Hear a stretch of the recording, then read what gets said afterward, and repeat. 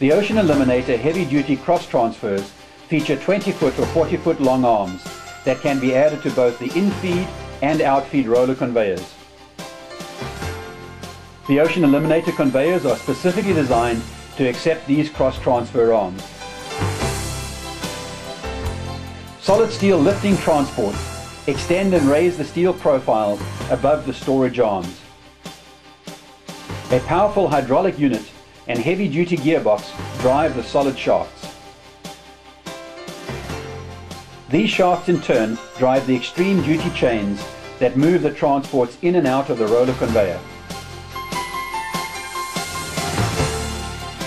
The transports are also used to push the steel against the datum line ensuring accurate measuring and movement through the saw or any other type of machine.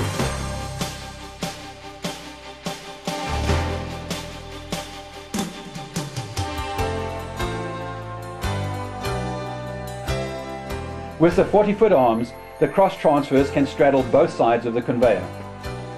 The lifting transports are specifically designed to lift the steel beams over the roller conveyor datum line allowing the material to be staged on either side of the roller conveyor, increasing the fabricator's versatility.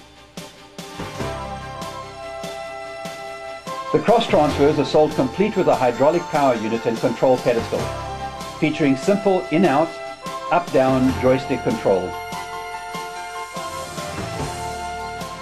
The simple plug-and-play design, ease of adjustability, and comprehensive instructions makes it easy for the fabricators to install these units.